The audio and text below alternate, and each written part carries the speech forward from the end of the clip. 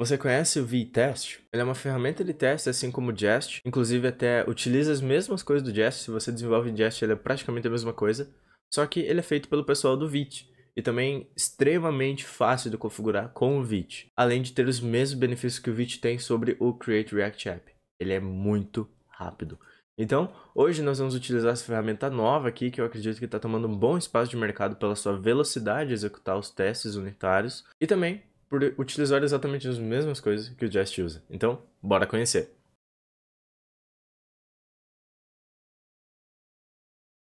Fala galera, beleza? Eu me chamo Real, sejam bem-vindos a mais um vídeo e hoje estou trazendo para vocês mais vídeo da Tips and Tricks, aquela playlist onde eu passo dicas de desenvolvimento web, ainda no nosso app BlobG. Esse é o último vídeo desse app, tá? Eu fiz uma, uma minissérie de três vídeos extras, aquele de Rich Text, o Skeleton Load, o Test, só para deixar ele ainda melhor, mas é por aqui que a gente finaliza esse app e nos próximos vídeos a gente vai ter que desenvolver um novo com tecnologias ainda mais poderosas no desenvolvimento web.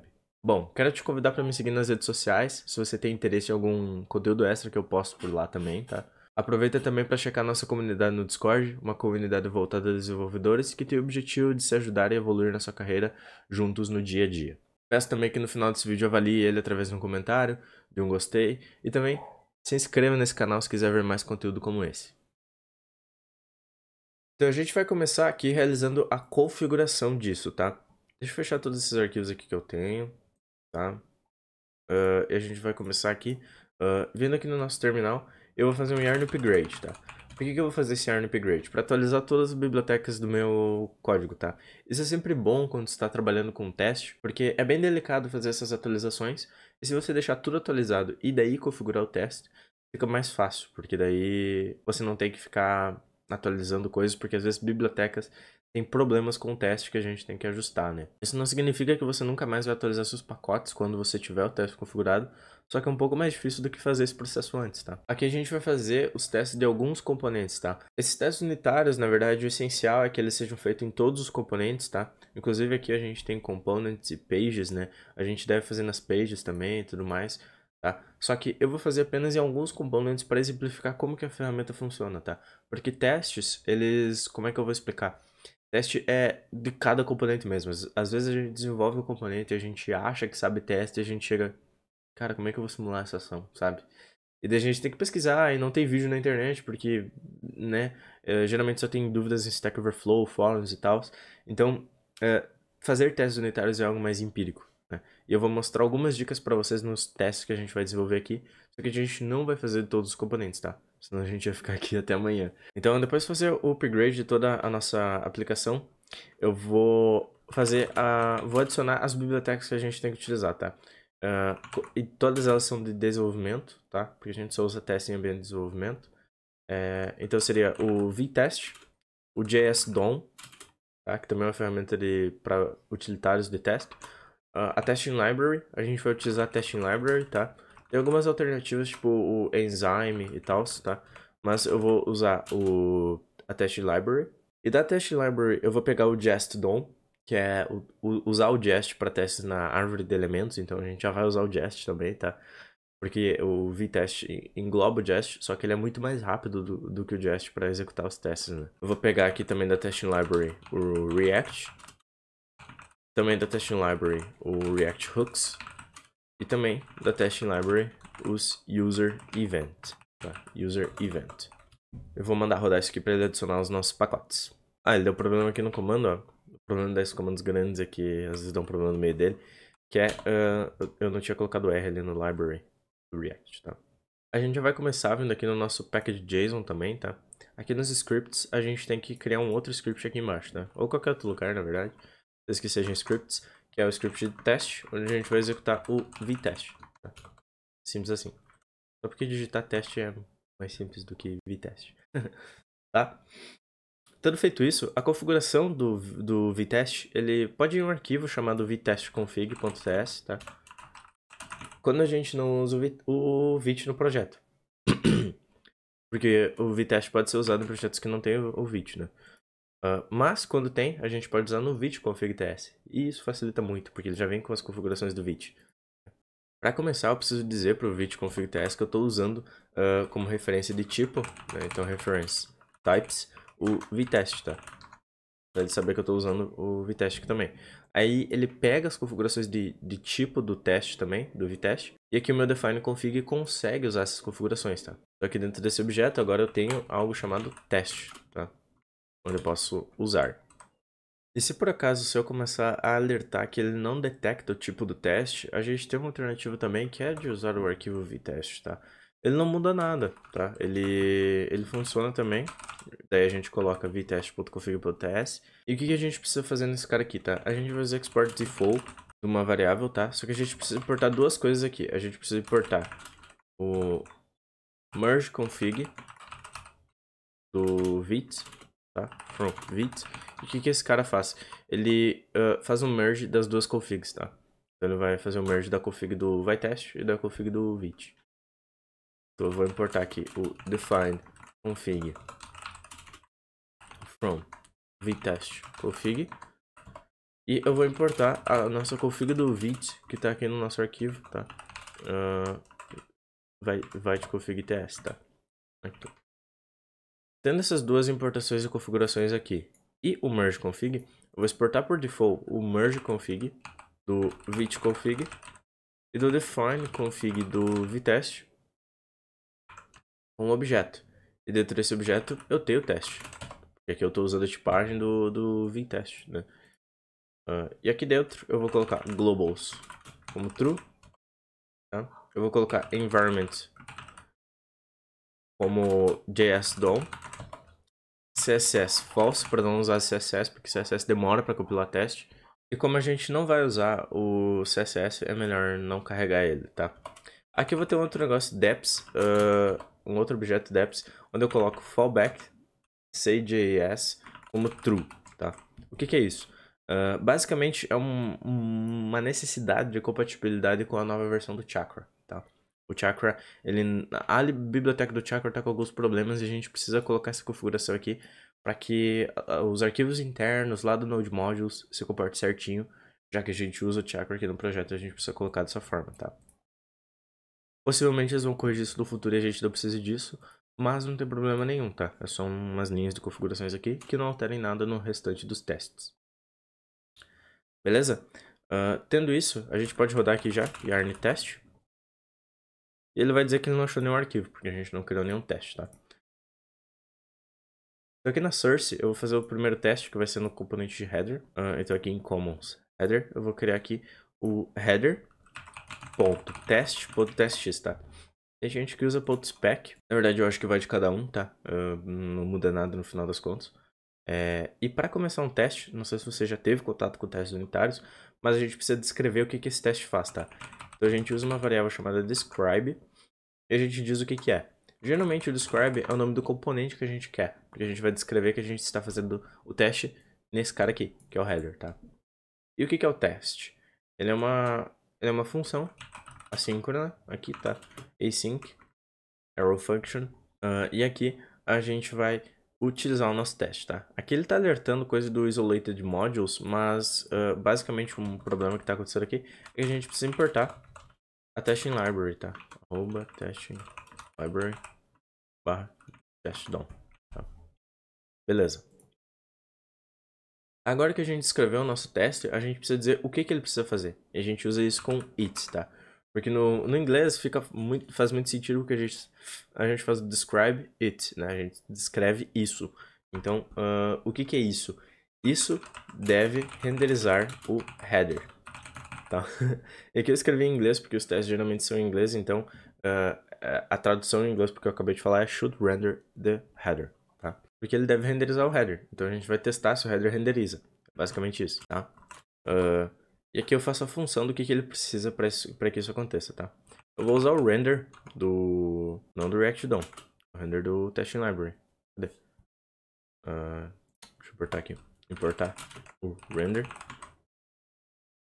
from arroba, arroba testing library react, tá? Esse render vai ser responsável por simular a renderização do componente em tela. E a gente vai dizer que a gente quer renderizar o header. Tá? E após ter renderizado o header, a gente precisa dizer o que a gente espera que aconteça na página depois de renderizar o header, né?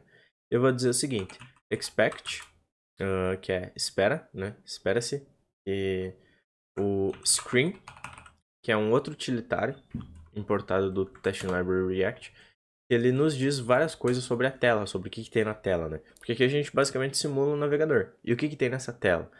A gente vai dizer que a gente quer pegar por texto, ou seja, get by text, algo chamado blob.g. Então a gente vai verificar se na nossa tela existe um texto chamado blob.g. Se isso der certo, eu espero que esse texto que a gente pegou esteja no documento da página, to be in the document. Tá? Então é exatamente isso. A gente espera que na nossa tela a gente pegue um texto chamado blobg e ele exista, e a gente verifica que ele esteja no documento. Agora, se eu rodar yarn test, ele vai me dizer aqui ó, que um teste passou. Tá? O nosso componente header passou nos testes, tá? porque a gente conseguiu renderizar ele. Só que eu não tenho só esse teste no header. Por quê? Porque eu tenho mais funcionalidades no header. Tá? Além de renderizar ele, eu tenho o redirecionamento do header para home. Né? Hoje a gente tem esse, essa anchor aqui que nos redireciona para home quando a gente clica no header. Tá? E a gente precisa simular esse comportamento também. Como que a gente faz isso? Tá? A gente vai colocar aqui um outro it, porque ele ainda é no componente header, tá? Então, outro it uh, should redirect to home page if the user clicks the logo. Tá? Então, se o usuário clicar na logo, ele deve redirecionar para a home page. eu vou criar outra função aqui que ela executa isso, tá? Onde eu vou renderizar o header de novo. Eu espero que na minha tela eu tenha um get by role, que é o que eu vou pegar. Uh, get by role ele pega pelo pela função do, do HTML, né? E a gente vai pegar um link, tá? Get by role link. Uh, então ele vai procurar o, a tag anchor lá e eu vou esperar uh, to have attribute. Então eu vou esperar que uh, esse link que eu peguei tenha o atributo href. Tá? E daí eu passo um outro parâmetro para esse to have attribute, que é o valor desse atributo. No nosso caso, o valor desse href tem que ser barra.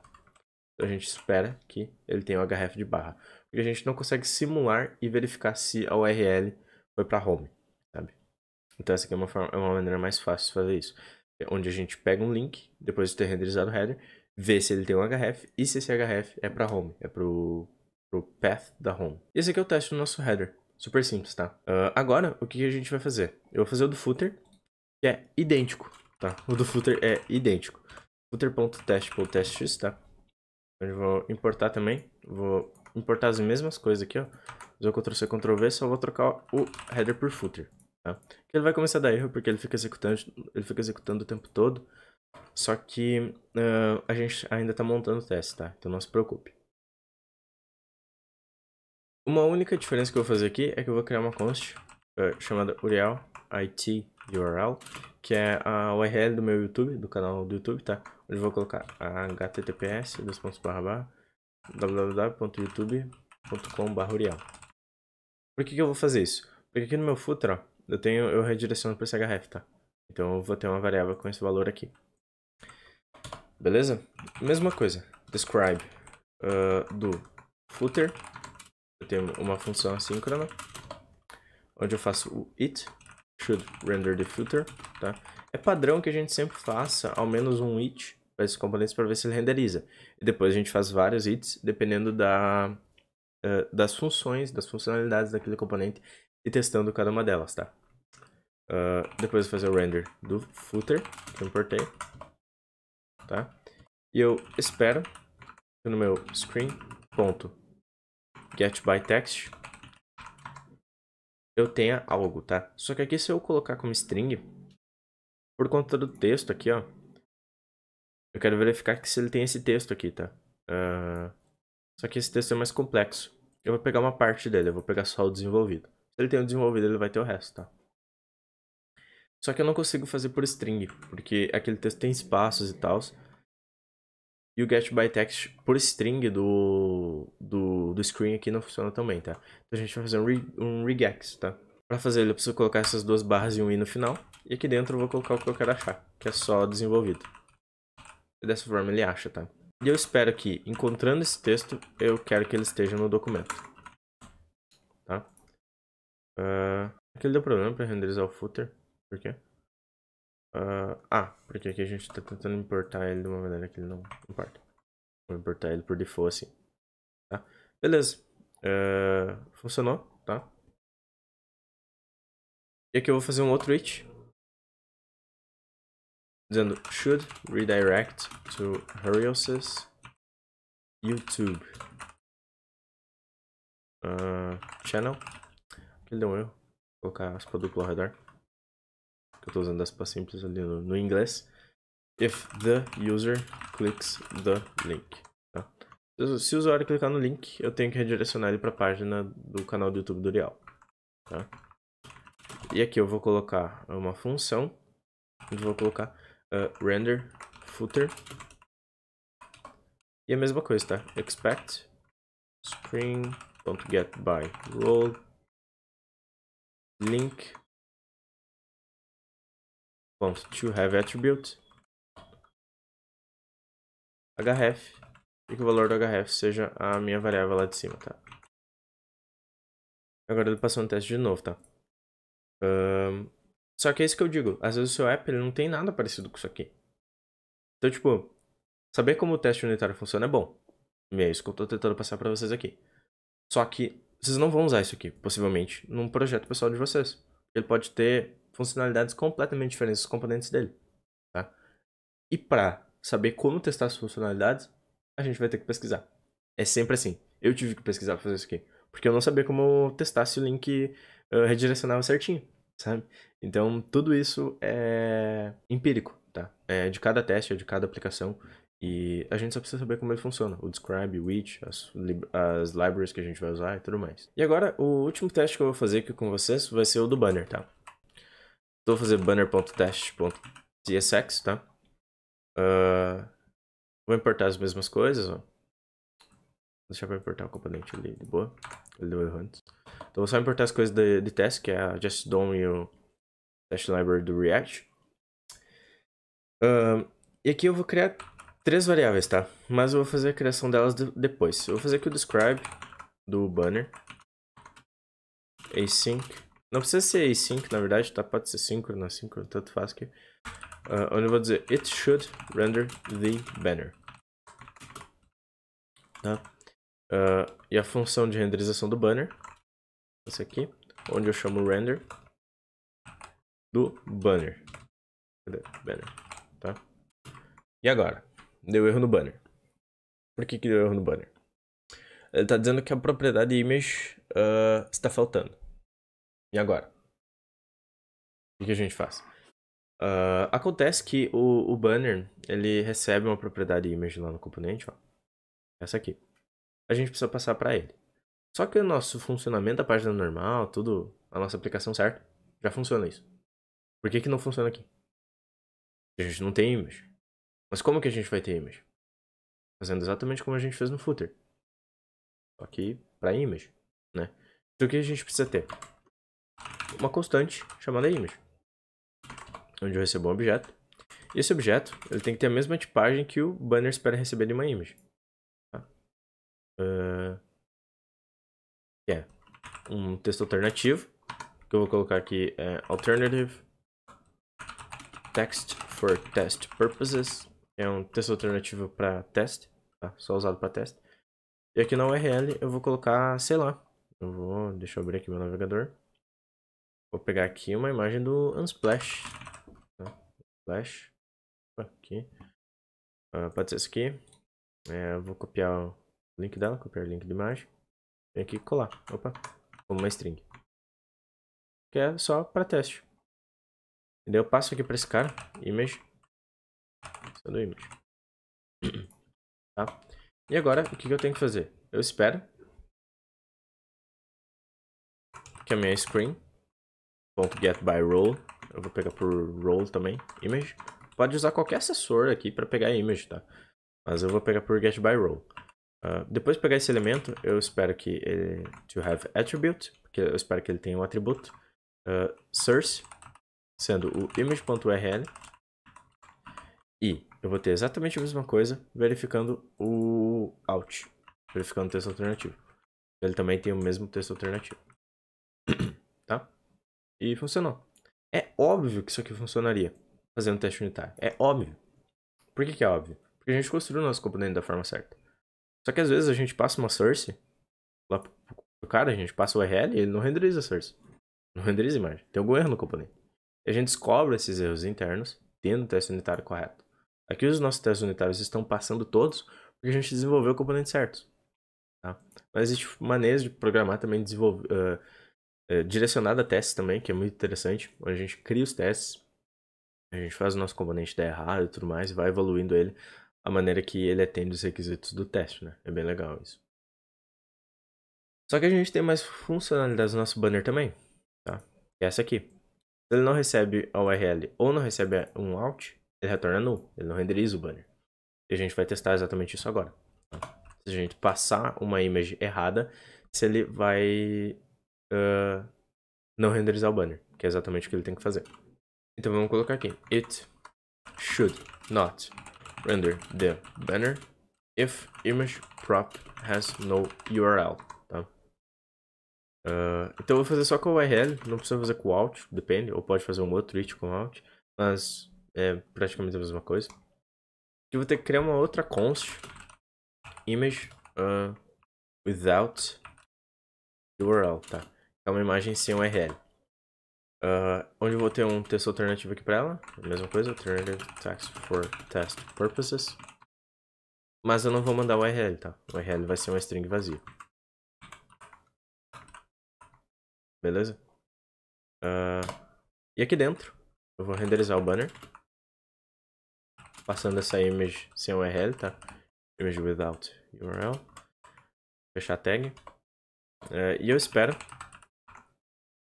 uh, aqui o meu screen ponto query by role image. Por que query, tá? O get by role ele dá erro se ele não acha. Se ele não achar uma image, ele dá erro. O query by role ele procura e se ele não acha, ele fica ok. A gente tem que usar o query aqui, porque se usar o get ele vai dar erro e o nosso teste não vai funcionar. Aí, eu faço o query by role, aí eu recebo uma informação, se eu tenho ou não. Aí eu espero que not, que eu não tenha, to be in the document. Tá? O not, ele é tipo o, o exclamação que a gente usa, sabe? De verificação. Então, a gente uh, verifica se ele está no documento, só que é o contrário. Tá? Então, a gente verifica se ele não está no documento. E por último, eu tenho uh, it should render an alternative text in case the image URL is not valid. Se a URL não for válida, tá? Uh... E daí aqui nessa função eu vou renderizar o banner. De novo, tá? Só que eu preciso criar uma outra const aqui. Que é const image with invalid URL, que é a imagem com URL inválida de imagem, né? E mesmo texto alternativo, ó. Copiar aqui. Só que a URL vai ser a URL do meu canal. Tá? Deixa eu pegar aqui, URL do meu canal. Por quê? É porque eu quero que ele tenha uma URL inválida nesse caso. Tá? É, ele é uma URL válida na internet, ela é uma URL que existe, mas ela não tem, uh, digamos assim, uh, uma imagem nela, né? Então eu vou colocar aqui, eu vou testar exatamente isso. Image, image with invalid URL, Uh, e daí eu espero que a minha screen ponto get by alt text, então eu vou pegar por texto alternativo aqui, sendo o image with invalid URL ponto alt, procurando o texto alternativo dela. Eu espero ponto to be visible. Que esteja visível na tela. Tá? E agora, vocês podem ver aqui que os meus testes estão todos passando. Eu tenho três arquivos de teste e sete testes no total, porque eu tenho mais de um teste em cada componente, né? E agora é com você, tá? É, eu já mostrei como configurar o VTest, como funciona a ferramenta. É, Para quem já tem experiência com o Jest, ele vai funcionar exatamente igual com o Jest. E ele também uh, tem algumas funcionalidades com a Testing Library, tudo certinho, é super fácil de configurar. Só que, para estilizar, para estilizar não, para testar todos os componentes é com você, tá? Eu deixo isso nas suas mãos porque são vários componentes aqui do projeto, tá? Cada componente tem um teste diferente, tem cada projeto diferente, né? Só o, o, a verificação de renderização que é praticamente a mesma, né? Então, uh, eu espero que essa introdução tenha mostrado para vocês um pouco do mundo dos testes, tá? Existe muita coisa na internet. Se o, quando você precisa fazer um expect de um componente que você não tem nem ideia de como fazer, pesquisa, como verificar se renderizou, se redirecionou, se o botão funciona, se trocou de cor, sei lá. Tudo isso é só pesquisar que tem bastante conteúdo por isso na internet. Cada dúvida de teste unitário que você tiver, alguém já teve, pode ter certeza. E se você não, se ninguém teve ainda, cria uma que o pessoal ajuda, tá? E verifica na documentação do Jest, do VTest, tudo isso lá certinho. Muitíssimo obrigado pela sua presença por aqui. Esse foi o vídeo final do BlobG, tá? Eu deixo aí esse tema de caso para vocês quiserem fazer o teste de todos os componentes e explorar como funciona o mundo de testes unitários, que é muito interessante. Mantém a qualidade do produto e isso é muito bom. Quero te convidar para avaliar esse vídeo, né? No geral também, de como foi toda a playlist. Deixa que ele gostei. Uh, manda um comentário sobre feedback. Uh, dê ideias do que vocês querem ver, de que outro app eu posso desenvolver aqui, que outras tecnologias eu posso usar. Claro que eu já tenho algumas em mente, mas se você tiver uma sugestão muito boa, cara, super simples de eu pensar em encaixar isso e fazer acontecer.